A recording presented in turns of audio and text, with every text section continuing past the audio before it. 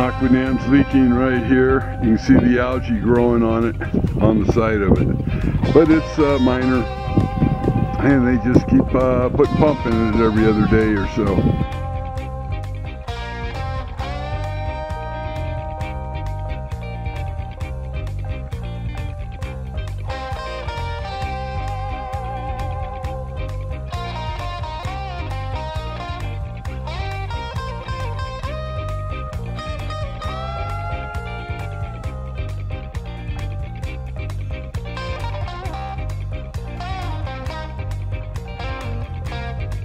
Well, these sand, uh, sandbags aren't even touching the aquadam. Oh yeah, they're uh, uh, off the aquadam by uh, up to 12 inches. All this stuff has to be packed out.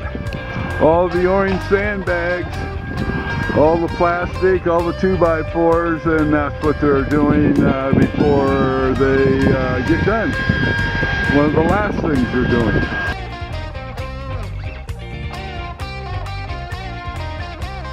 Quite a bit of room behind these sandbags.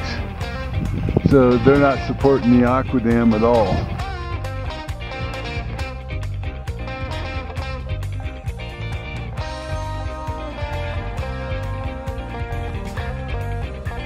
Well, first they had to cut this line, and now they're putting uh, this special material in it and then they're going to caulk over it. The, the cut's only about two inches deep.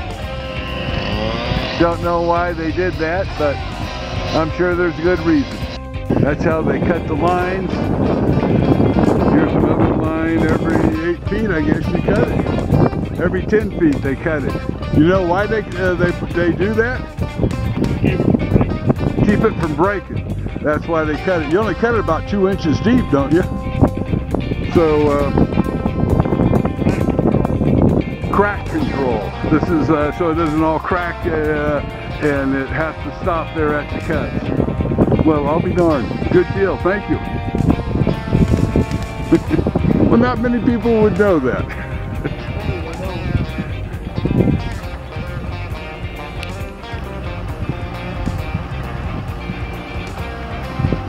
a uh, this is uh, rails that the uh, in the concrete there a little runway so that the, they can launch their docks their floating docks and pull them up out of the water that's what these uh, two tracks are for they shove this right down in that crack and you can see it Ooh. This again keeps the uh, concrete from cracking at a later date. This is what they dug out of uh, the bottom of the lake. It ended up being a lot of material. This was just soft mud.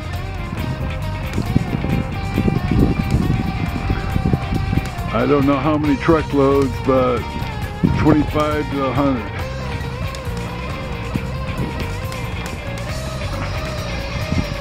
Of course, all this has to be hauled off. A lot of the big stone over here, they had to haul in so they could walk out there to dig out the rest of uh, this gray, uh, ruddy, uh, clayish mud. So they had to pack in a bunch of stone, now they got to pack out the stone, plus all the mud. This was all mud. This has been uh, uh, put there after it uh, got hard. This is hard now. This looked like this before they moved it into a pile like that see.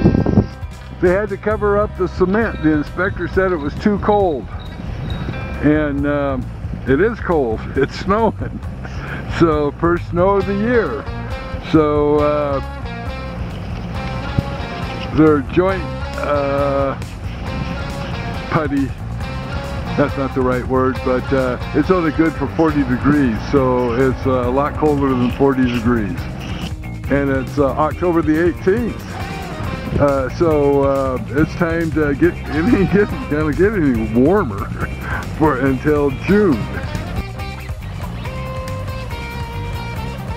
Well, the contractor took uh, the temperature of the cement with a thermometer that you would uh, use on your forehead. And uh, it is 43 degrees. So he's three degrees to the good above 40 and that's minimum for the caulking and uh, so he's good to go and uh, they didn't want uh, rain they covered it up now the sun's out and uh, it looks from the surrounding beautiful Nevada mountainsides that the storm has passed. So, no more rain. They've got uh, four submersible pumps running. This culvert doesn't appear to have a, a pump in it. This one uh, is active, this one's active, this one, and this one over here it can actually uh, be turned on with a uh, three inch pump also if uh, the submersible two inch doesn't take care of the problem. But they had to dig it out and backfill it with uh, gravel. Otherwise the other sediments will just come in on them. So it was quite the operation according to the contractor. But once that uh, happened, everything got working right and no more problems.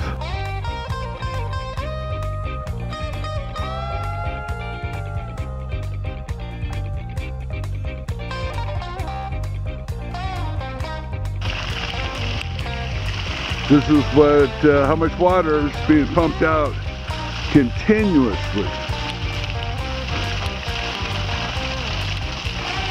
There are three two inch pipes here and a two inch pipe here. This one's kicking out a bunch of water.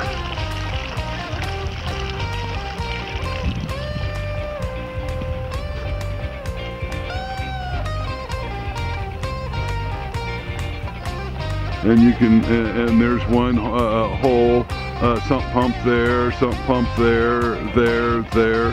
And this big one there is no sump pump. Snow from last night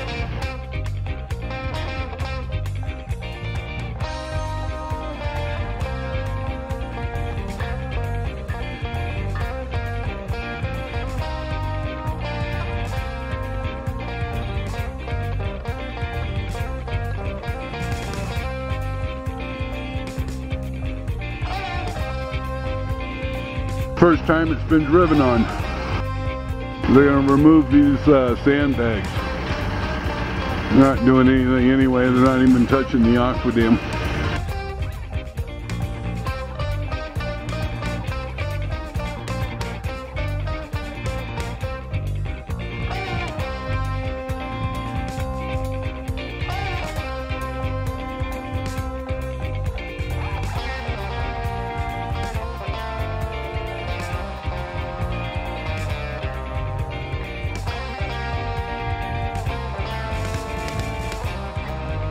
The big sandbags are all gone. The aqua dam didn't move at all.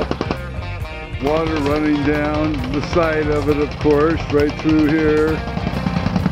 There, boom, boom, boom, boom, boom. Eventually makes its way to uh, these sump pumps. A green hose, suction hose when we installed it that we uh, couldn't get up. So or, uh, they lost it over the side, but we can get it now.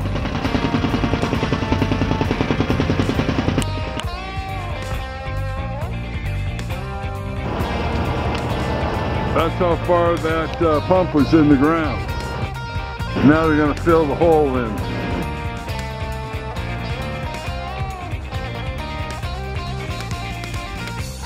Well, this is the next morning we worked until an hour after dark last night, so I couldn't take any pictures.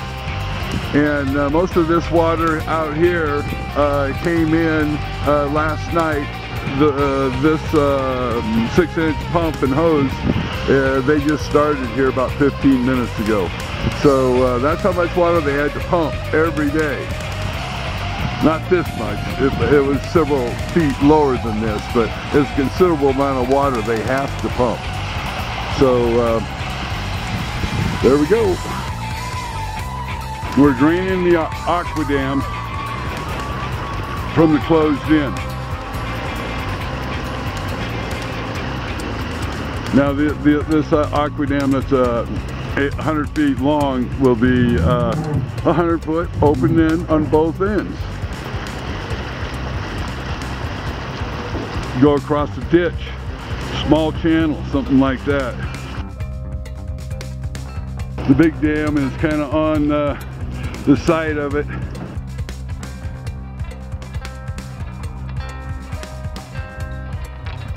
So we got to stop every couple of minutes, let the water drain.